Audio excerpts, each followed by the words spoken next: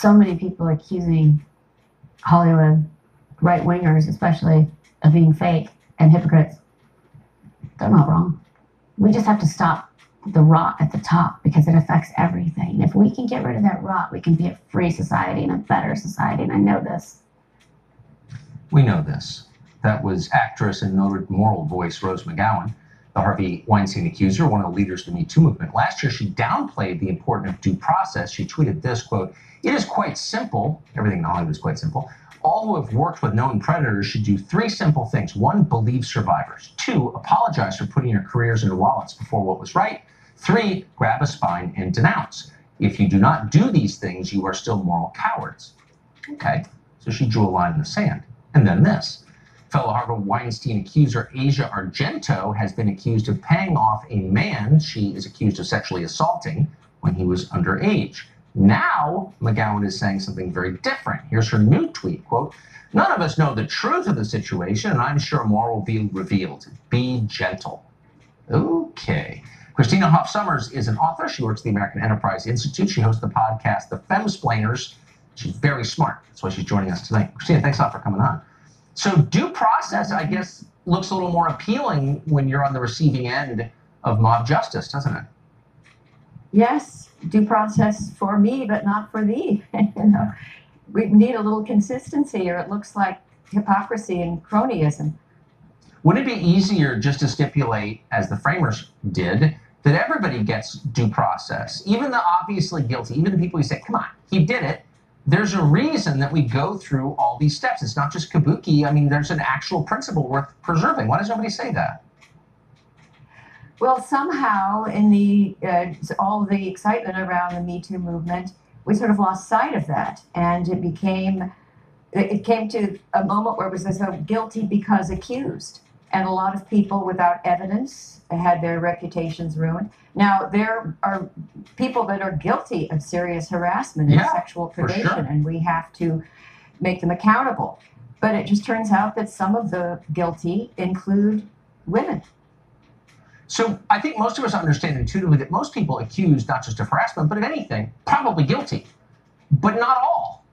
Some are innocent. And it used to be that Absolutely. liberals reminded us, oh, I've been accused of something I didn't do. So I, I know that for a fact. Liberals used to remind us of that. And those of us on the right would say, oh, they're all guilty, but they're not actually all guilty. Where is the left now reminding us that due process and civil rights are, are real? They're very important. Well, it, that whole idea of due process has been lost on the college campus, where we've had now by now hundreds of cases of young men who were subject to kangaroo court justice, and there was no one taking their side, or very few. I mean, there have been those of us out on the outside in groups like Fire who've been making a plea for for due process. And I actually agree with Rose McGowan that we should proceed with care in all cases. Yes, I I just wish that she'd applied that that cons- consistently. Has the fever passed, do you think?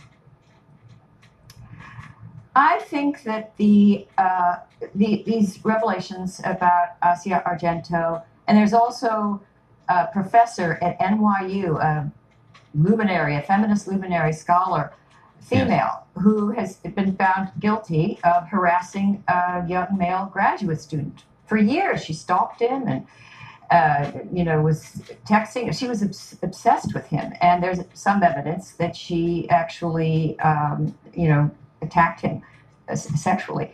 So this this changes a little bit the focus because this idea of believe women, you know, well, maybe you should we should. I don't think anybody deserves, you know, to be absolutely believed until we examine the evidence. But Exactly. every victim should be taken seriously and treated with dignity, whether it's a man or a woman. And in the case of this NYU professor, Avital Ronell, the young man that accused her, a group of famous feminist scholars, you know, sort of gathered around and wrote a letter and said, "Oh, well, he's a liar, and you know, she's such an important, dignified feminist professor. How can we take him seriously?" And it was astonishing to the academic community to see this kind of hypocrisy. So I think I do believe in the Me Too movement. I think that it's an occasion uh, you know, there's just more consciousness about the need for more dignity and respect between men and women in the workplace and in everyday life. Uh, but it has to be something that men and women do together, and it shouldn't be that we we treat men as the enemy and that you know it's we, we look at harassment as something only men do. Um, this is a human undertaking, and I Exactly. I hope that this, these revelations about these women uh, harassers and predators will help us to see to see Yeah. that. I'm certainly not taking any more lectures from Rose McGowan. I've decided I'm starting there. Christina Sommers, thank you very much. Good to see you. Thank you.